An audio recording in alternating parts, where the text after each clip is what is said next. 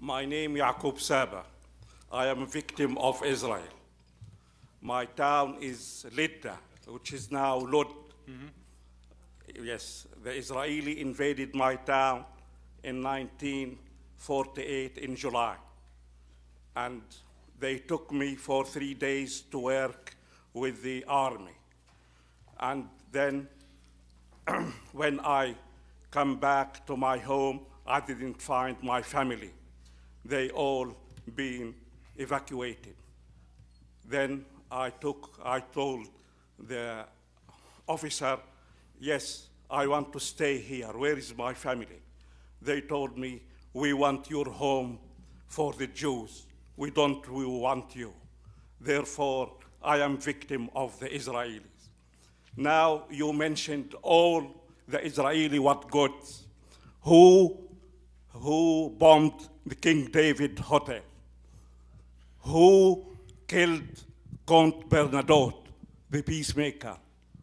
Who killed 29 worshippers in Hebron Mosque in Ramadan? Goldstein, and you called him a hero.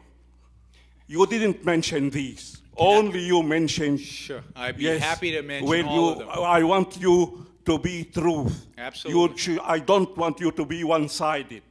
Well, but the truth is one sided, Yes, unfortunately. yes. By July of 1948, uh, seven, oh. let me finish. I let you speak. Now let me finish.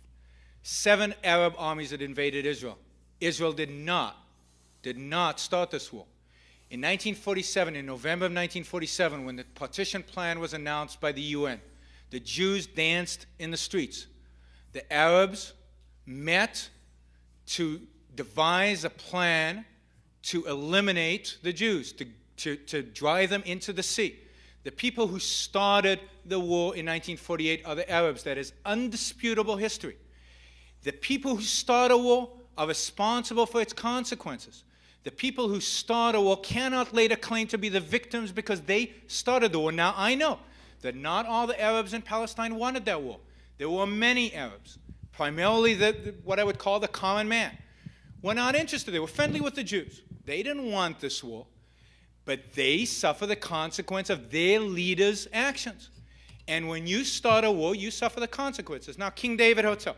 The King David Hotel was at the time the headquarters of the British occupying army in Palestine, who was now leaving. It was bombed after a phone call was made to the hotel, telling them there was a bomb in the hotel and asking them to evacuate. The uh, what else did you mention? Um, uh, Hebron. Goldstein, or whatever his name was, is a criminal and sits today in jail in Israel, and I wish they would execute him. No, he is not a criminal. He Because was he is a killed crim- at, no, he, he was killed in the, in the, That's right. He was killed. If he hadn't been killed, what would have happened to him? He would have been. He would have sat in But- Israeli jail, and if Israel had the death sentence, he would have been killed. but- what does Yasser Arafat do to people who kill Jews? He gives them awards, and he gives the, the, the families money to compare the Israeli government that is protecting the Palestinians from some very small number of Jewish fanatics who would murder them in a mosque, which I condemn.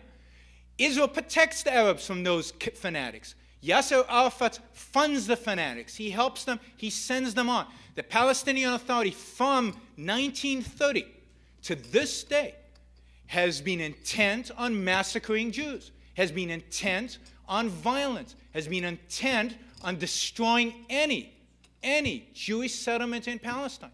So it is unequivocal, it is unequivocal that one side is right here and one side is wrong.